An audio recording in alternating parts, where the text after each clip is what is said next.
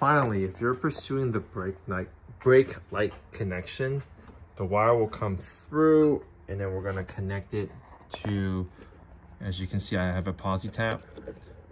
Um, red is it, this is an extension. So this is really the white line.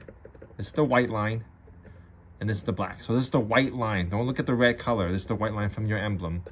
It goes and connects to the red and black. That's 12 volt. And then the black is your ground. And that will initiate the, the brake light connection and we'll send you some extra wires.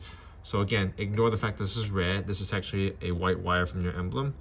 And that's how you will tap into the brake. Very similar in terms of the posi tap methodology.